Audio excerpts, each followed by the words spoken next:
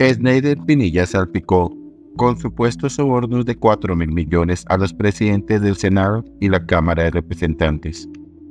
De acuerdo con el ex director de la Unidad para la Gestión de Riesgo de Desastres, los pagos fueron para impulsar en el Congreso las reformas sociales que propuso el gobierno nacional. El ingeniero civil Snyder Augusto Pinilla Álvarez, quien hasta el pasado 6 de marzo fue subdirector del manejo de desastres de la Unidad Nacional para la Gestión de Riesgos de Desastres, UNGRD, afirmó que usó dineros de la entidad para pagar presuntamente millonarios sobornos al presidente del Senado, Iván Name, y al de la Cámara de Representantes, Andrés Calle.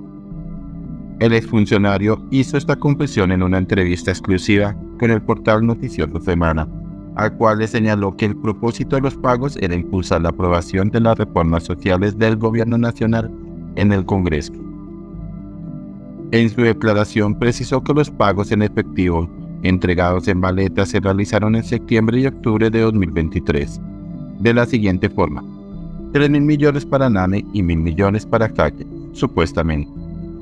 Añadió que en esa presunta conspiración también participaron el director de la UNGRD de ese entonces, Olmedo López, el ministro del Interior Luis Fernando Velasco y la consejera para las regiones, Sandra Ortiz.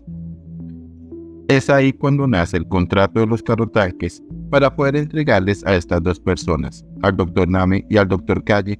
La orden de proveeduría se hace el 12 de octubre de 2023, en un par de horas.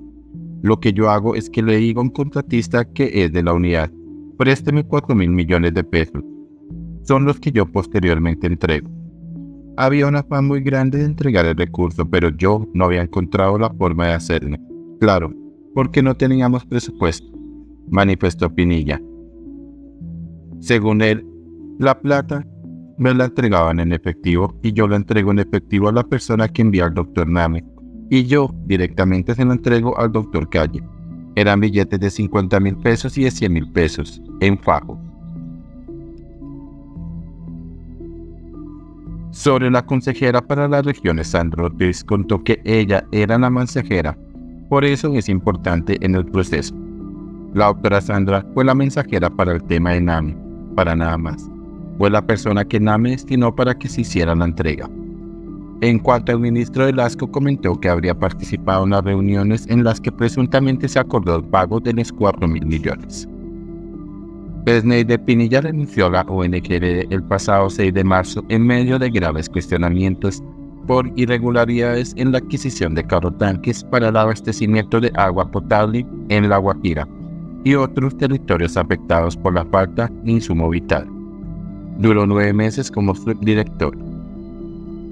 Tanto él como su antiguo jefe, Olmedo López, están siendo investigados por la Fiscalía y la Procuraduría por presuntos sobrecostos en la adquisición de 40 carrotanques por medio de una licitación de 46.800 millones de pesos.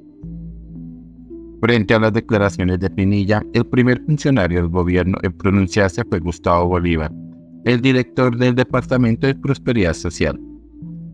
Sandra Ortiz, consejera de regiones, debe apartarse del gobierno mientras la fiscalía determina si es cierta la grave acusación que hace Snyder Pinilla sobre haber llevado a Iván Nami 3 mil millones de la corrupción en UNGRD. Unos pocos no pueden seguir manchando un gobierno que nos ha dado la instrucción de cuidar los recursos con máxima transparencia. Trino, este viernes.